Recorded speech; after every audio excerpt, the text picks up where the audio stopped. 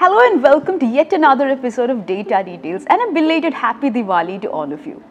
And while we are on the topic of Diwali, did you know that on this Diwali day, almost 80% of Indian cities breathe decently okayish air? I know that sounds like a tough pill to swallow because we've been hearing crackers burst all around us all day and evening. So we will tell you exactly what happened. So in India, air quality index or AQI is divided into a few categories. Severe, very poor, poor, moderate, satisfactory and good depending on the number of pollutants present in the air. Obviously severe is really really bad and good is well good.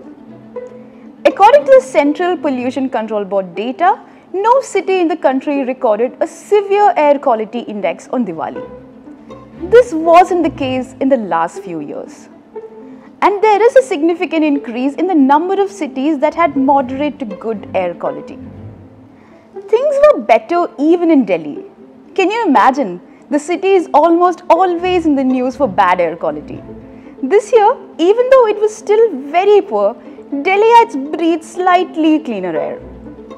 So we decided to look at the reasons behind this and asked a few experts. Obviously, Delhi had a cracker ban this year, but people tell us that fireworks were still around in the city. So, what exactly is the real reason? The weather. Apparently, there was a reduction in the amount of PM 2.5 pollutant because Diwali day was pretty windy and not so cold in the northern India. The stubble fire intensity was also lesser in Punjab and Haryana. Also, when it comes to Delhi, the wind direction also changed to southwesterly on Diwali, which meant the wind did not carry almost any stubble dust along with it.